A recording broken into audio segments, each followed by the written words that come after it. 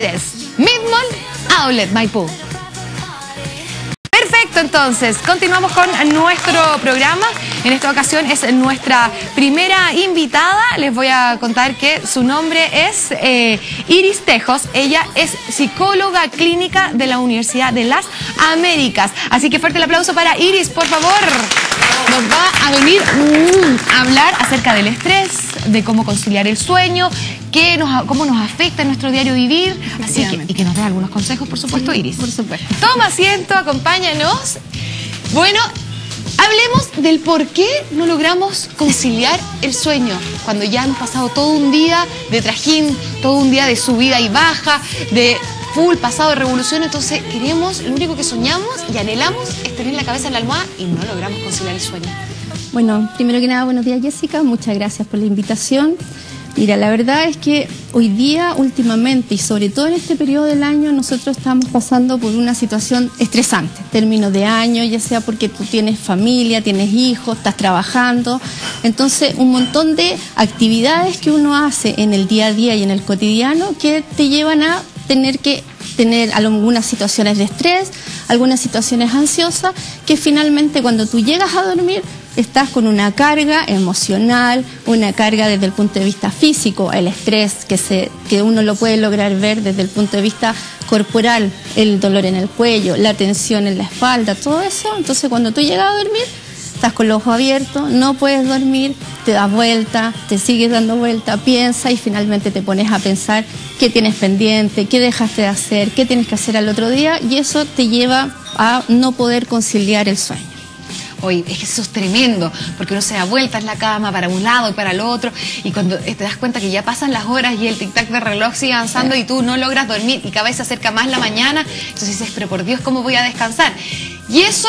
Eh, ¿En qué nos puede afectar? Digamos, te levantas en la mañana con un sueño eh, permanente, muy cansada, y de qué manera te puede afectar entonces en la gestión que tienes que realizar en ese día.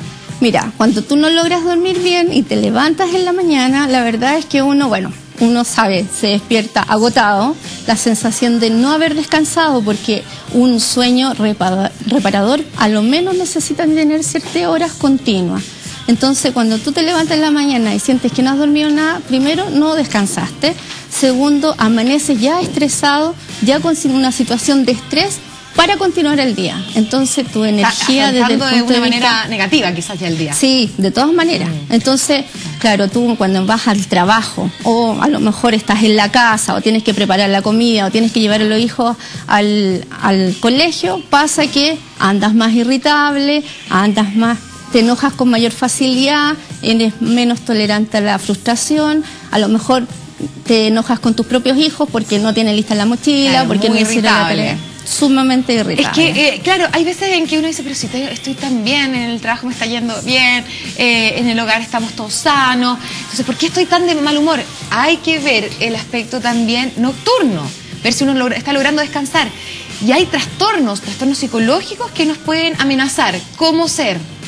¿Cuáles de ellos? Mira, Primero que nada, bueno, la ansiedad produce alteraciones a nivel fisiológico, como ya lo vimos, sobre todo el tema de conciliar el sueño, desde el punto de vista emocional, lo que acabamos de hablar, o sea, más irritable, menos tolerante a la frustración, también desmotivación, también te puede provocar eh, interferir en las relaciones interpersonales que tú estableces con tu entorno más, más cercano o con tu familia o con tus amigos que de repente se coloca una, un ambiente más tenso producto de que uno no está bien, no ha mm. logrado descansar, no ha logrado reparar esta, eh, eh, este estrés que ha tenido durante el día.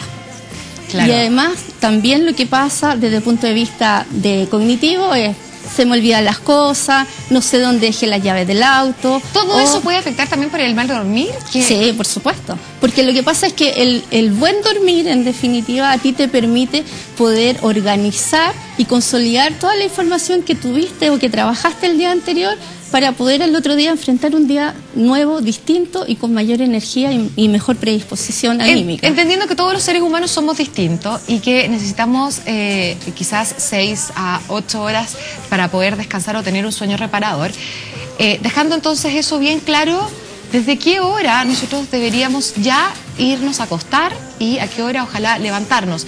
Me refiero porque dicen que eh, ojalá estar durmiendo casi que como los bebés, a las 8, 9, Sí, porque claro, en ese horario es cuando uno tiene el sueño más reparador. Mira, lo que pasa es que efectivamente uno debería, por lo menos dos horas antes de ir a dormir, dejar de hacer actividad física y actividades cognitivas que te logren activar. Lo que uno tiene que hacer es empezar a relajarse.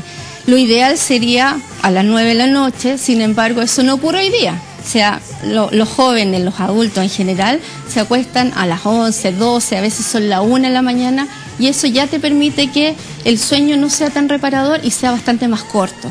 Nosotros cuando dormimos pasamos por periodos de, de sueño ligero y de sueño profundo. Claro. Entonces el sueño ligero se hace más largo y el sueño profundo se hace más corto, que es justamente el espacio que necesitamos para poder reparar y poder eh, tener las energías necesarias. Entonces sería ideal que acudamos a descansar como a las 9 de la noche, pero a descansar, digamos, quizás a estar en la cama leyendo un libro para tratar de conciliar el sueño. Sería ideal. o sea, Ideal. Conciliar el sueño, hablamos quizás 10 y media, porque hay personas que dicen, pero a las 9, 9 todavía está de día, no puedo. Sí. ¿O no? sin duda. Eh, en realidad es como bajar un poco la energía de lo cotidiano, ¿no? Como tú muy bien dices, o sea, poder estar acostado leyendo un libro, tranquilo, desconectar, sobre todo cuando uno dice, ya, voy a dejar mi, mi librito aquí al lado, ¿cierto? Me tomo un poco de agua y trato de dormir, desconectar la televisión, desconectar el celular, porque hoy día el celular a uno no lo permite tener eh, un sueño profundo.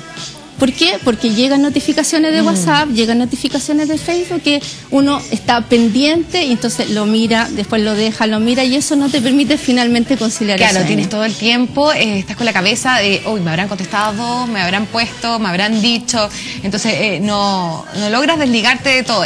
Entonces, el sueño más reparador comienza quizás eh, a más temprano, si no logramos nosotros descansar entonces desde las diez y media.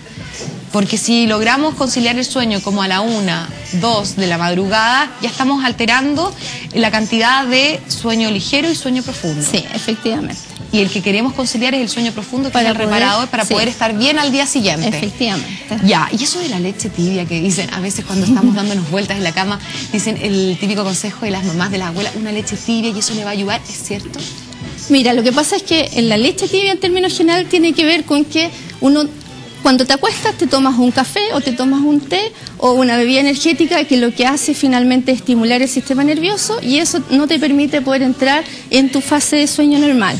Si tú te tomas una leche, eso eh, principalmente lo que te va a ayudar a ti es estar más tranquila, no estimularte y poder conciliar el sueño. Y conciliar el sueño, sí, porque cuando uno se levanta en la mañana y pasó pésima noche, lo único que quiere es comerse todos los chocolates del mundo, ojalá que nadie le hable, eh, está, está totalmente irritable. Y eso también lo comparte la gente porque hay muchas personas que ven en Magazine eh, nuestro programa y van entonces sintiéndose identificadas con los temas que vamos tocando. Por ejemplo, a continuación vamos a leer algunas de las preguntas que nos hacen. Eh, de Miranda C dice, eh, arroba magazine ZL, mi hijo de 10 años se desvela mucho y le cuesta demasiado quedarse dormido.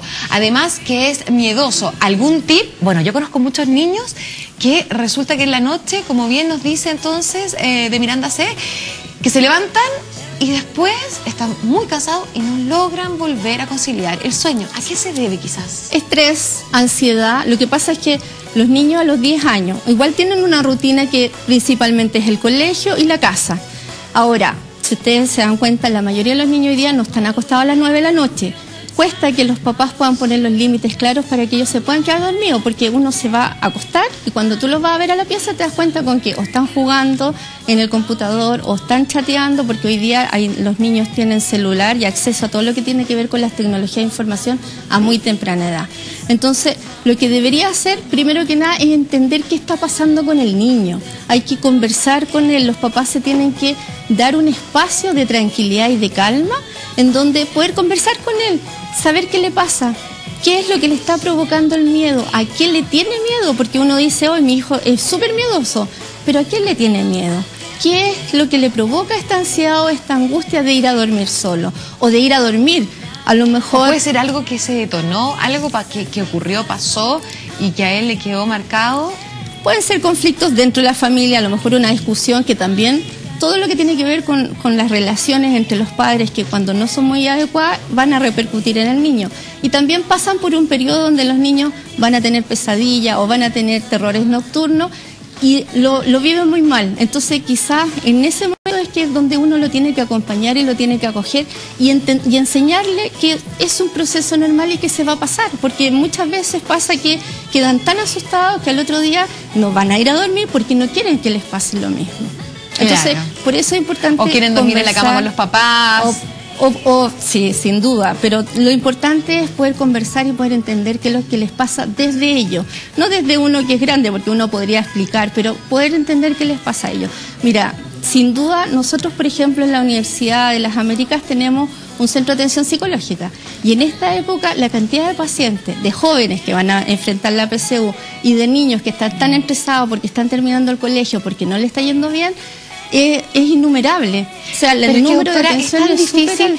Claro que eso es una realidad, y una realidad no solamente para los niños, sino también para los grandes, cuando estamos pronto a, que se cumpla un proyecto, cuando tenemos que hacer una presentación, o cuando tenemos que desarrollar un nuevo, una nueva, un nuevo trabajo, etcétera. Y los niños en general, como decíamos, estos desafíos de la PCU, desafíos de nuevos exámenes.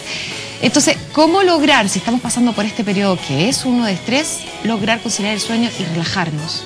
¿Cuál sería el consejo? A ver, lo primero que yo te podría aconsejar es, como dije delante, efectivamente poder dejar por lo menos dos horas antes de dormir, dejar de hacer actividad física y actividad desde el punto de vista cognitivo y empezar a hacer otras actividades que tienen que ver más bien de relajación. ¿Cómo ser?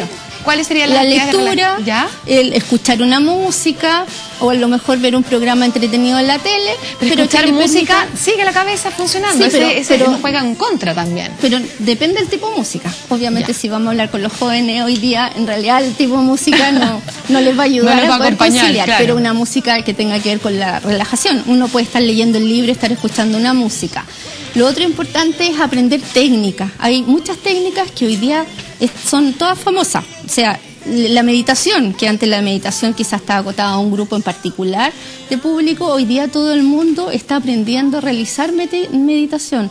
Hay varios tutoriales desde el punto de vista en internet que te van a enseñar quizás poder relajarte en un, en un periodo más bien corto tener técnicas de respiración, técnicas de relajación, realizar yoga, por ejemplo, o realizar una actividad física de elongación, pero que no genere activación, sino que al contrario, que te permita poder estar tranquilo. Descansar el cuerpo y la mente. Sí. Lo otro importante tiene que ver con la ingesta de alimentación. Mm, también. Porque nosotros deberíamos comer dos horas antes de acostarnos. Y sobre todo comer comida liviana y no comer comidas que te estimulen el sistema nervioso, como la Coca-Cola, la cafeína, las bebidas energéticas, o muchas proteínas en la noche, mucha glucosa también, los chocolates, etc. Ay, no, y, pero es que uno que uno que decía, pero no importa, quizás no voy a comer un tremendo postre, pero esta lasaña está la lasaña es pura, porque toda esta masa después se convierte en todo esto, esto energizante. Así que ojalá dejar todas las pastas, solamente eh, podemos acudir a una ensalada.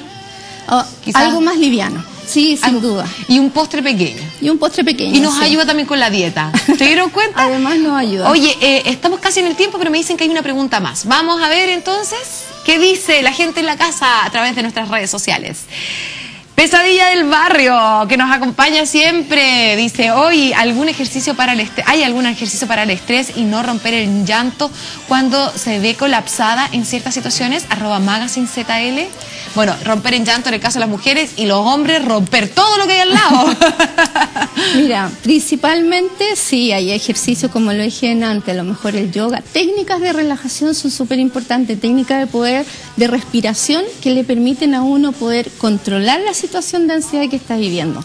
Sin duda, cuando uno está demasiado ansioso, termina, como tú muy bien lo dices, llorando pero uno puede... De impotencia, de rabia, claro. Puede, puede controlar eso a través de la respiración y también racionalizar la situación porque uno a veces está demasiado estresado y mirar a ver qué es lo que me está estresando, porque de repente me doy mm. cuenta que los factores que me están estresando no tienen que ver conmigo, quizás son factores que son externos, entonces poder delimitar qué puedo hacer yo para estar mejor y qué está fuera de mí que a lo mejor no está dentro de mi control. Y claro, no podemos interferir. Excelente las recomendaciones que nos ha dado hoy día la doctora. Y bueno, usted también busque, busque a través de estas técnicas de relajación. Oye, los mapuches, sin ir más lejos, los mapuches entonces le enseñan a sus hijos cuando están enojados a que respiren y así se relajan y entonces logran explicar el por qué ocurrió todo y no hay una pataleta. Así que ahora esa es la tarea, para poder conciliar un sueño reparador y poder estar muy bien afrontando el nuevo día que se viene. Gracias a las recomendaciones de nuestra doctora especialista en el día de hoy que nos vino a visitar. Y a usted en la casa les queremos contar entonces que hay un evento musical gamer en vivo